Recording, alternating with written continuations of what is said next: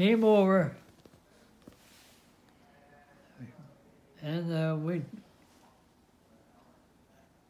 convoys, uh, taking the convoys across England from, from England to, to France.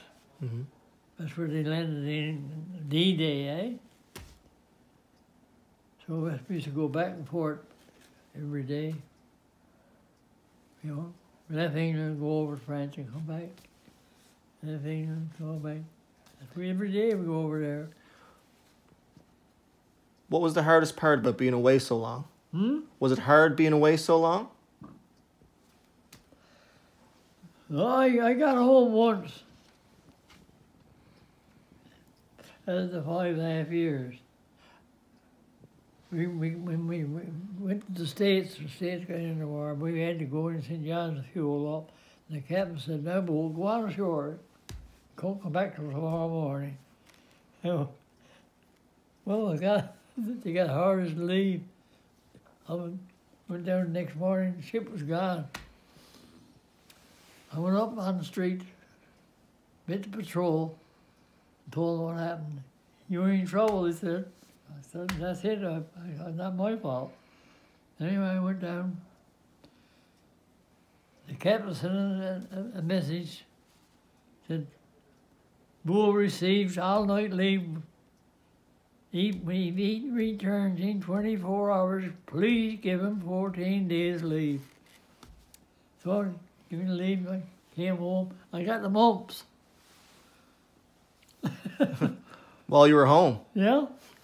Anyway, I went back, passed me ship. He said, You're into trouble. What do you mean in trouble? He said, You were adrift. No, I'm not. I passed the slip from the doctor. then I joined the, the Canadian Corvette. I went to Halifax. I got on the train there and went down the States and joined, joined my ship. And, and what about when you got home in 1946? How did that feel? I got home Christmas Eve. That's good timing. I never got no sleep that night, I tell you.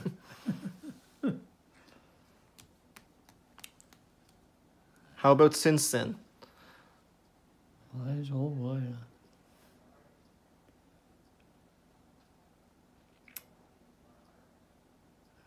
Yeah. You certainly lived a full life. You know, I was on, I was on that tower for, for, for, for seven years. And the po- when the post office came out, I, I applied with the post office and got the post office. Mm-hmm. I was in the post office se- 17 years. When I got 60 years old, I said to her, I said, I'm, I'm quitting. Yeah, I think you out for me. she went with that. I hired a boat and engine and five gallons went fishing. And how long did you do that? I made, I made more money one day than I made.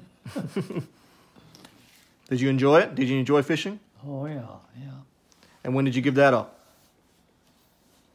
Oh, I was fishing for seven, seven or eight years. That's the magic her name is. Beautiful. 54 tons. Wow. First year we were down, got home.